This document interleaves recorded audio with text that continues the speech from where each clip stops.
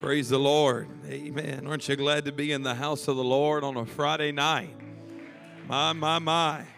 That was pretty weak. Aren't you glad to be in the house of the Lord on a Friday night? Amen. Amen. So thankful that the Lord has decided to make this place his abode tonight, and I'm thankful for what I feel in this house. And I'm thankful for what the Lord has already done and what He's going to continue to do. Do you have expectation that God's going to do the miraculous in this place tonight? Now, I know, I know when you're the new guy, everybody wants to size you up and figure out, you know, who I am and what I'm all about. But what do you say we just lay all that aside and say, the presence of the Lord is here. Let's just have a move of God. That's all I'm interested in. Is that what you've come desiring tonight? Amen. Amen. You should make your way back to your seats. Truly, what an honor it is to be here. I give honor to the host pastor. Thank you for opening up your church. Aren't you thankful to be a part of what God is doing right here in this wonderful district? Amen. Amen. And I give honor to Brother Flores. Appreciate you, sir. Thank you for allowing me to stand behind this pulpit. And um, looking forward to what the Lord is going to do tonight. I, uh, I don't have uh, a sermon here for you. I do feel like the Lord began to uh, quicken me on a few things in the hotel room and then during the worship service. And so, if you came for sermonizing, you might be a little disappointed tonight. But I do feel like I have something to say. And uh, I think before we leave here, that the will of God is going to be done, and that's all I'm interested in. Amen. Amen. I think my wife and daughter, hopefully she's asleep, but my wife is watching. I love her and appreciate her. Greatest gift outside of the Holy Ghost God has ever given me, and I honor her tonight. If you have your Bibles, turn with me to a familiar passage of Scripture, John chapter 3. We will begin reading at verse number 1 to this wonderful, wonderful music team, this worship team. Didn't they do a fantastic job leading us into the presence of God here tonight? Amen. Amen. John chapter 3, verse number 1. If you have it, say amen. There was a man of the Pharisees named Nicodemus, a ruler of the Jews. The same came to Jesus by night and said unto him, Rabbi, we know that thou art a teacher come from God. For no man can do these miracles that thou doest except God be with him. Jesus answered and said unto him, Verily, verily. He's saying, Listen up, pay attention, look closely. I say unto thee, except a man is born again, he cannot see the kingdom of God. Nicodemus saith unto him, How can a man be born when he is old? Can he enter the second time into his mother's womb and be born? Jesus answered, Verily, verily, listen, listen, pay attention, pay attention, look closely. I say unto thee, except a man be born of water and of spirit. Somebody shout, Spirit. He cannot enter into the kingdom of God. That which is born of the flesh is flesh that which is born of the Spirit is spirit. Marvel not that I say unto thee, You must be born again. The wind, everybody shout, The wind. The wind bloweth where it listeth, and thou hearest the sound thereof, but canst not tell whence it cometh or whither it goeth. So is some people that are born of the Spirit. So is a few people that are born of the Spirit. Read it with me. So is that is born of the Spirit. I want to do my best to preach to you tonight simply on this subject the revelation of the wind. I am interested in the Spirit of God having free reign and free will in this place tonight. I have not come to do anything but just say, Lord, let your spirit move through this house, accomplish that which you want to accomplish, use whomever you want to use to accomplish it. Anoint young people to be used by you tonight. Anoint student pastors to be used by you tonight. Anoint senior pastors to be used by you tonight. Lord, touch every first time visitor, touch every person that's had this for a long time, God. we want the Spirit to move in this place. Come on, I want you to lift your hands and pray like an apostolic in this house. Uh, pray with authority. Pray in the Holy Ghost if you've got it. Hallelujah.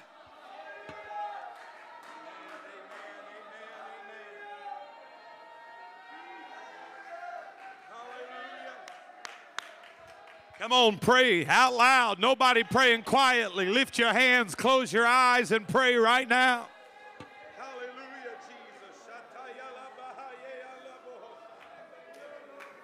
Come on, pray a little while longer. I think we can press here for just a minute. Lord, anoint me and use me for the glory of your kingdom. Let your words be my words. Let your ways be my ways. Let your thoughts be my thoughts. Quicken me to do your will and declare the whole counsel of God. Amen. We take dominion over anything that would be a hindrance against this service. We loose the gifts of the Spirit into this atmosphere in Jesus' name. If you believe God's going to do it in this house, why don't you clap your hands and give Him a shout? Hallelujah. Amen. Amen. You may be seated in Jesus' name. Throughout Scripture, you will find that the Bible uses something called typology. That is where the Old Testament will use a type of something or an image of something to give you a revelation of what is to come you find that in the very opening of your Bible, there is a river. That river wove its way through the Garden of Eden, and once it came through the Garden of Eden, we learn that it was parted into four heads. When you look at the very last chapter of your Bible, you will also find a river. That river flows from the Lamb and the Bible says that that river is clear as crystal. And on its banks, there are trees that give fruit every single month. There is something to be partaken of off of those trees. As well as in the middle of your Bible, you will find in Ezekiel chapter 47 that there is also a river. Why is the Bible showing us rivers throughout the Bible? Because Jesus teaches us in John chapter 7 that the Spirit of God would be likened unto rivers of living water. This spake he of the Spirit, but Christ had not yet been glorified. And so we understand that as you look at rivers through the Bible, what you are seeing is an image of the Spirit of the living God. That's why Naaman, when he was going to be healed of his leprosy, he could not go into those creeks or rivers that were sourced from the earth. He calls them Abana and Pharpar. Those were earth fed rivers. He had to go to the river Jordan. And the river Jordan finds its source, according to Scripture, being a place that is fed not from the earth, but from the heavenly.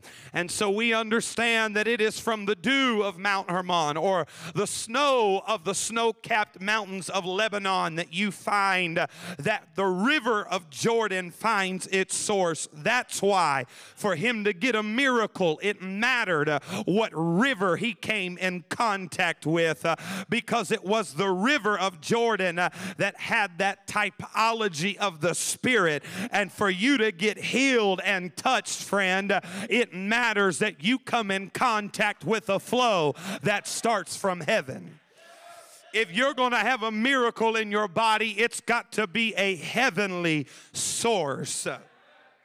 Why rivers? Because rivers were source of life in the Bible days. You had to be close to a river. You had to be close uh, to a water source. And so he likens water unto his spirit because it's showing you and I that the spirit would be something uh, that would be the source of life for you and I.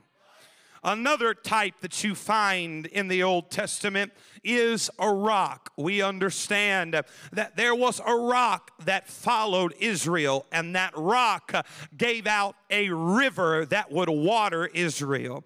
It is interesting that that rock followed them, and we learn in the New Testament that rock was Christ. That's why when Moses smote the rock twice, he broke typology because Christ would not be crucified twice, he would only be crucified once. He would only be smitten once, friend. You have to see that Christ is also likened unto a rock. Why? Because a rock is something firm, a rock is something you can build upon, a rock is something that you can trust as a foundation. And you've got to hear me tonight. Christ wants to be the foundation of which you build your life upon. Christ wants to be the foundation of which you build a marriage upon. Christ wants to be the foundation of which you build your finances upon.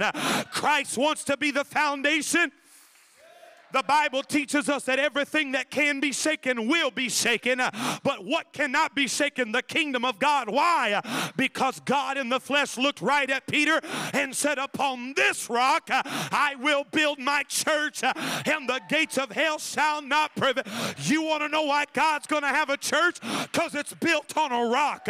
You want to know why this church will never be in trouble? Because it's built on a rock. These types, these, these images, they teach us of things that are to come you find that it was the rock that Daniel sees that smites the images of the world. He said, I saw a rock cut without hands, and it came down and it smote the images of the world. And the images of the world, the kingdoms of the world, they came down when the rock smote them. You have to see that when you begin to hear Peter preaching one day, and he said, That stone which the builders have rejected uh, has become the chief cornerstone. Christ was the rock that was cut without hands. Uh, he was God manifested in the flesh. Uh, he was God all by himself. In him dwelt the fullness of the Godhead bodily. The hands of man did not make him. He was God, and God became man. My, my, my. And so he teaches us that it was through the work of Christ uh, that he would smite the images of the kingdoms of the world. Uh, you have to understand everything that's going on politically. Uh, you don't need to worry because we, the apostolic church, have a king that is not Republican or Democrat. We have a king that is not a part of a democracy. We have a king that has been the Alpha and he has been the Omega. Come on, I know everybody's worried about inflation and everybody's worried about all the. I'm not worried about what happens in the world. I'm worried about my king. And when he parts that eastern sky, I want to be ready for the King of Kings. Woo! My, my, my. And so you see the rock, that imagery of the rock, it's important. But the wind, it's so important. Jesus looks right at Nicodemus and he says, The only thing I really know how to liken my spirit unto is the wind. He says, It's, it's like the wind. The wind bloweth where it listeth, and thou hearest the sound thereof. So is everyone that is born of the Spirit. When you get born of the Spirit, something begins to move in your life. It is the Spirit of the living God. The wind begins to blow. That word wind is pneuma, it literally means spirit. The Spirit begins to blow. And the Bible teaches us that there would be a sound that would testify that the Spirit is moving. And that word sound is phone. It's where you and I get the word phonics from or language from. He said, when the wind begins to blow, there will be a language that testifies realize uh, that the wind has filled the house. Uh, I've had people ask me, why do you have to speak in tongues? Uh, the tongue is not the Holy Ghost, the tongue is the sign that the wind has made residency in your house. You want to know why you got to speak in tongues? Because when the Holy Ghost begins to blow, there is a language that testifies God has filled this empty vessel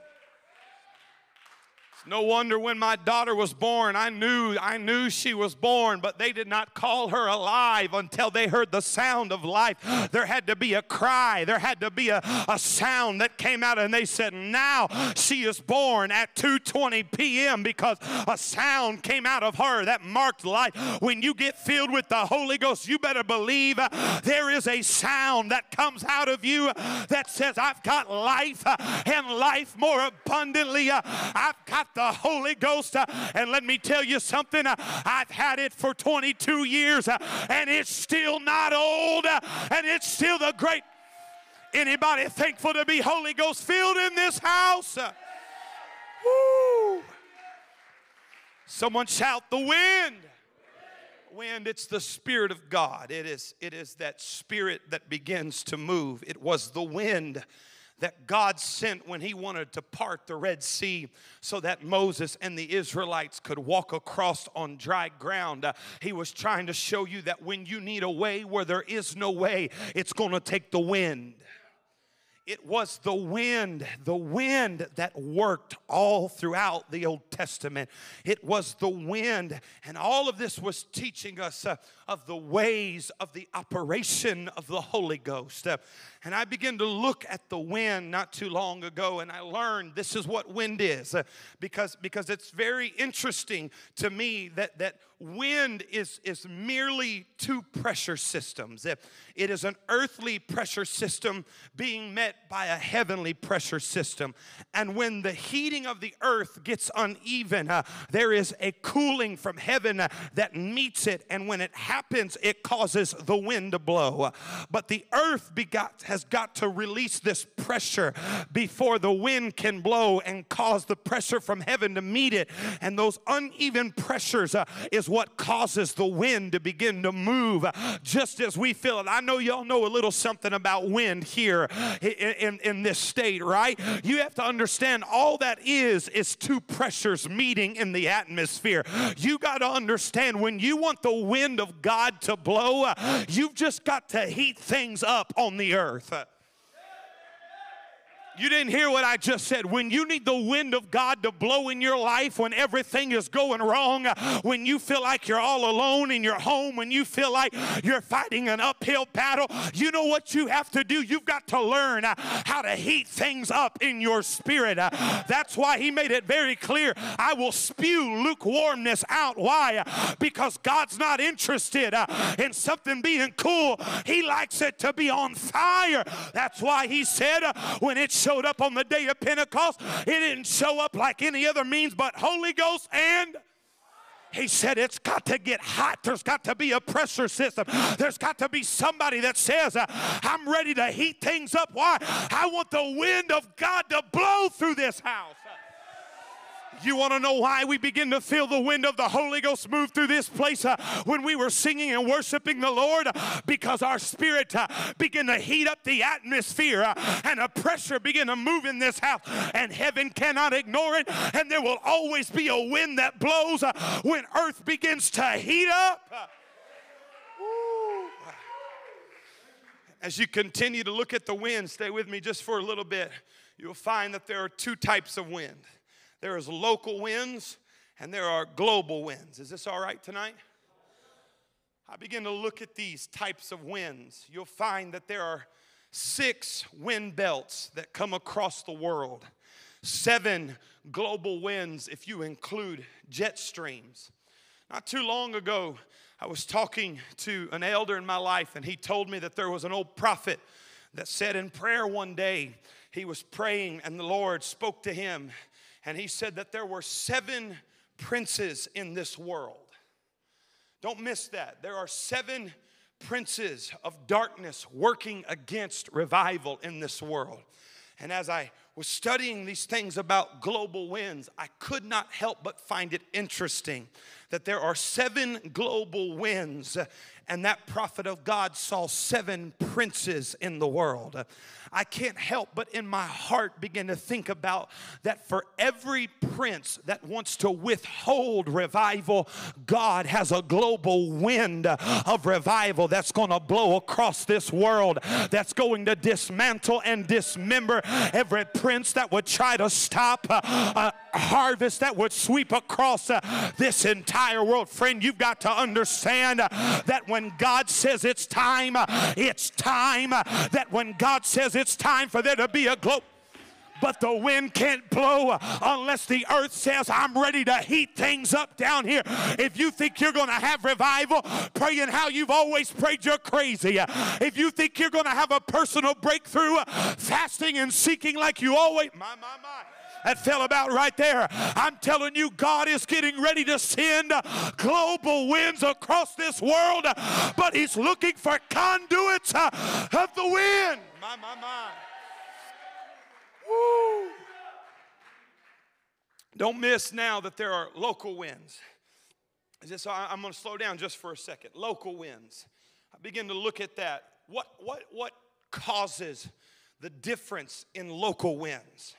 As I begin to look at that and study about the winds, I learned that it is the topography of the land that dictates how the wind is going to move through an area.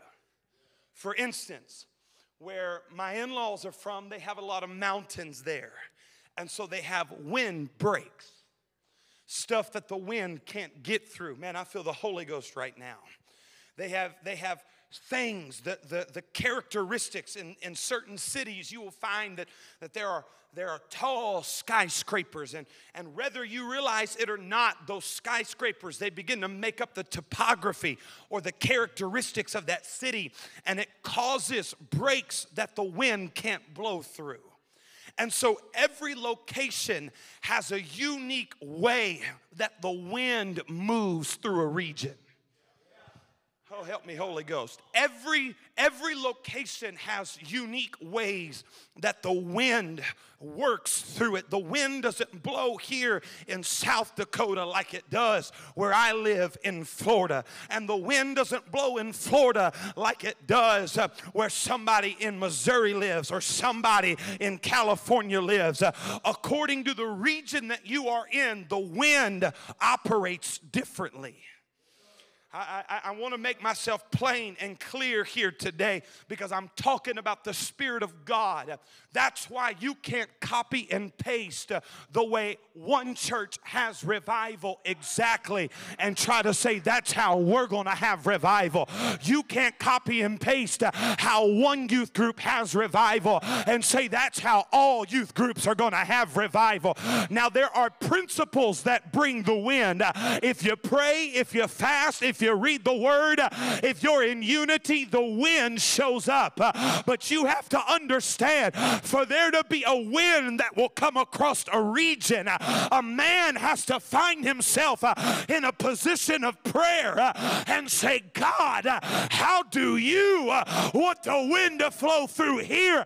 And then you have to allow yourself to be a conduit for the wind to work across your region. What am I trying to say on a Friday night to a young man and a young lady? God wants to send a wind across your city. God wants to send a wind.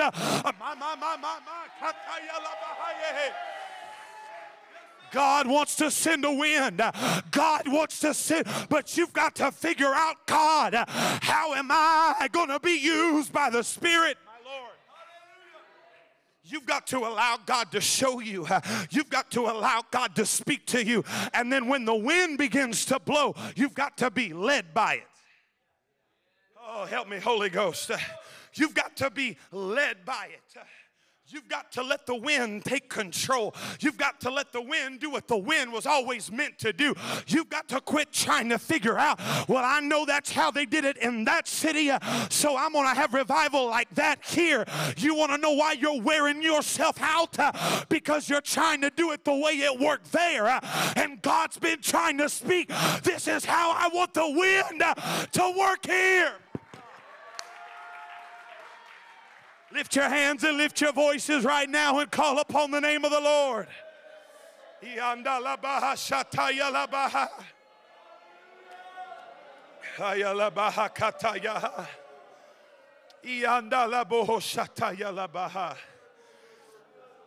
Holy Ghost, Holy Ghost, Holy Ghost. Come on, pray for just a minute. Pray like you know how to pray. Pray like you want the wind to move in this house. Pray like you want the wind to work like it has not worked before. Pray like you desire for there to be a revelation of the wind you've never had before. My God.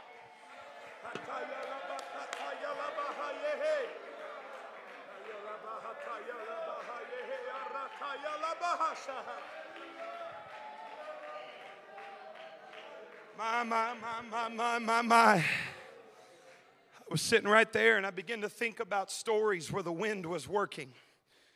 I couldn't help but think about in the book of Matthew, chapter 14, after he had fed the multitude, he sends his disciples into a boat and he tells them, Go to the other side. They had the command of movement forward progression. Man, I feel the Holy Ghost right now. They had the command of going forward. But then a phrase comes in, but the wind was contrary to them. Was it a demonic wind? No, it wasn't a demonic wind. The Bible says they were rowing. So as the wind began to work against them, they began to feel the fatigue in their arms trying to get a touch from God, trying to get a breakthrough, trying to get where God told me I was supposed to go. Trying, I'm trying, I'm trying, I'm trying. Man, I feel like I'm ministering to somebody right now. I'm talking to a young man. I'm talking to somebody in this house. I'm talking to a young lady. I'm preaching to somebody in this place right now. You feel your arms are weary in the in the constant rowing and you feel like the wind is against you. You feel like the opposition and you have even uh, you have rebuked it. You have asked it to stop everything else and little did you know that it was a holding place for a divine encounter. God, help me right now. Had the wind not have been contrary, they would have missed what was walking to them. Had the wind not have been contrary, they would have missed a divine encounter and a revelation from Jesus that they did not have before but because the wind was holding them in place. And although they felt like they weren't getting any momentum going forward, then comes something walking on the water. I'm telling you what I feel. I feel like Jesus is about to walk in this house tonight. I feel like God is about to step into this place and say, I know you've been weary and well doing, uh, but because you faint not, uh, I feel a due season in the atmosphere. Uh, I feel like I've got a touch of prophecy on me right now. I feel Jesus uh, is about to step in the house uh, and tell you, I know you've been rowing uh, and you're weary, but the wind was holding you for an encounter. Lift your hands and let's talk to the Lord just for a little bit. Come on, everybody, under the sound of my voice. Lift your hands and lift your voices. Lift your hands and lift your voices. I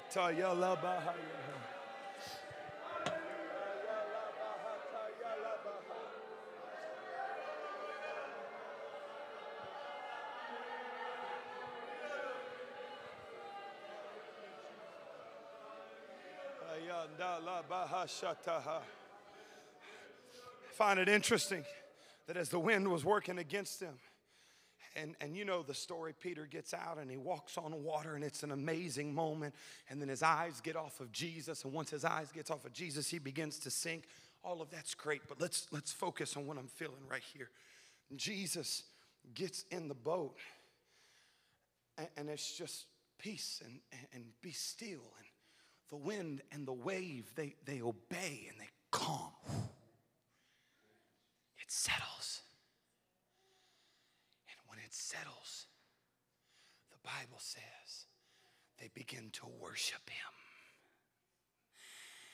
And out of nowhere, while they were worshiping Him, whether another wind began to blow or by divine providence, it says, and they were on the other side they got where they were trying to go when they quit trying to fight the wind and just begin to worship.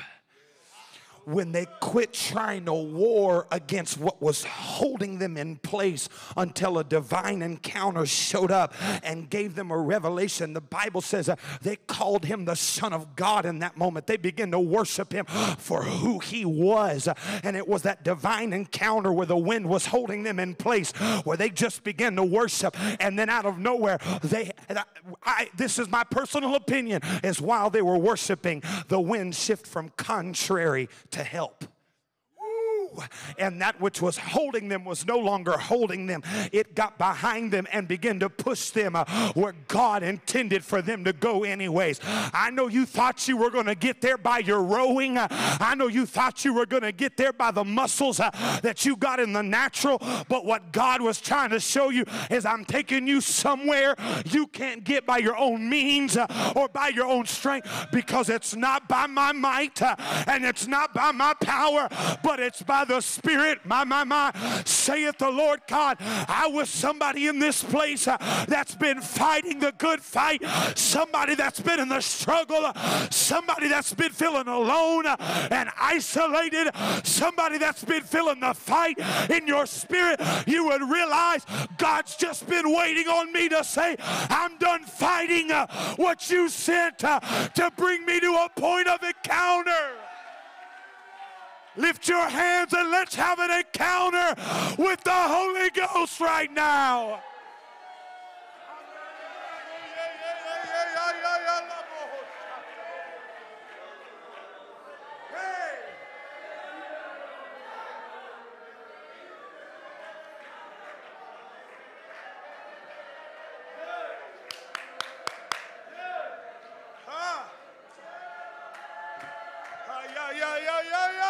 Bohosata. Hakanda rasata yalabaha. Ikarete arondo lobosata ikana labaha.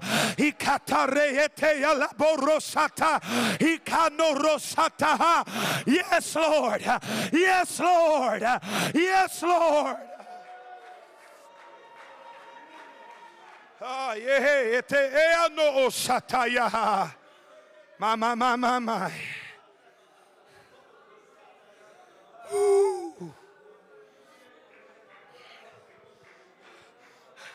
I, listen, I'm almost done.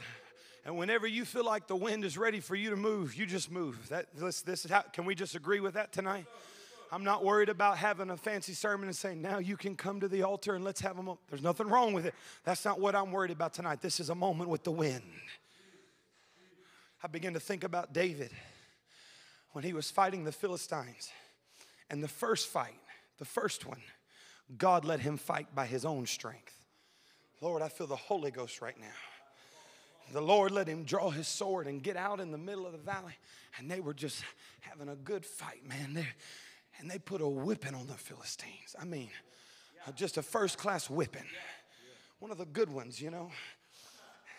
And the Bible says the Philistines, they're running away. And while they're running away, they leave their idols and they leave their images and they leave their gods. And the fight that they could fight by their strength, it removed what was surface level. Oh, help me right now. it took care of what was on the surface. And David said, This is what we'll do. We're going to light a fire. We're going to burn them. We're just going to take care of all of it. Get, get rid of all of the images. Everything, everything that is contrary to who our God is, get rid of it. Man, I feel the Holy Ghost right now. I feel divine direction. People have come through here and they have taught you and they have preached to you and they have declared to you holiness and separation, and you have done it, and it has been right. And what the Lord has asked of you, it has been in His will, and you have obeyed, and it has been burnt with fire. But the second fight cannot happen by your own strength because the Philistines came back again, but this time they encamped in the valley of Rephaim, the Bible says. And when I studied that word Rephaim, I learned that it literally means deep or mysterious, the unknown thing, the thing that it's just like, I don't know what it is, but it just is. Man, I feel the Holy Ghost right now. I don't know how to describe what I'm feeling but I can just tell you that I'm feeling a struggle. I don't know how to describe what I'm fighting against, but I'm feeling a fight in my spirit. I don't know how to tell you, preacher, what I'm battling in my mind, what I'm battling in my emotions, uh, what I'm battling at home, what I'm battling on the job, what I'm battling amongst my family. You're warring against family things. You're war- all of it, and it's a deep thing. It's a deep-rooted emotional thing. It's a deep, you don't know how to put your finger. You just say it's deep. God, I feel the Holy Ghost right now. And David inquires of the Lord. Let me tell you how you're going to get your answer the Lord. He puts his face in the carpet and he says, God, what do I do? He says, David, set an encampment around them. Just, just position yourself correctly because positioning matters put the right pieces into the placement, get everything set up, put the systems where they need to go, get strategy, do what God needs you to do, and then wait. What am I waiting on? There's going to be a sound in the top of the mulberry tree. A sound? Yeah, a sound. What's the sound? It's the wind. And when you hear the sound of going, then you know the Lord has gone before you. And now the Lord is fighting where you could not fight. And the Lord is taking territory where you could not take territory. Mandoloboshata. The Lord is stepping into places you could not step. And He's doing things you cannot do.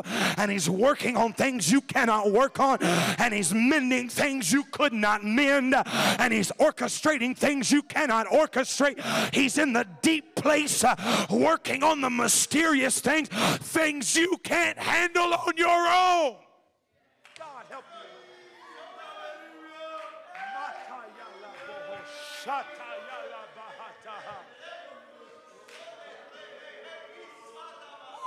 Kaya.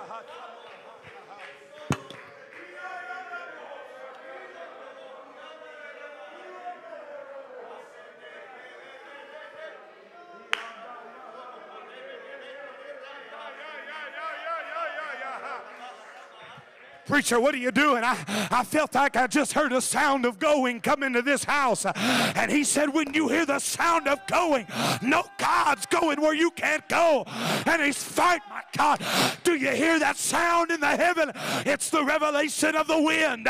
It's not by my might and it's not by my power. I hear the sound of going uh, over this district right now. I hear the sound of going. I hear it, I hear it. Lift your hands all over this house. Lift your voice uh, and let it go.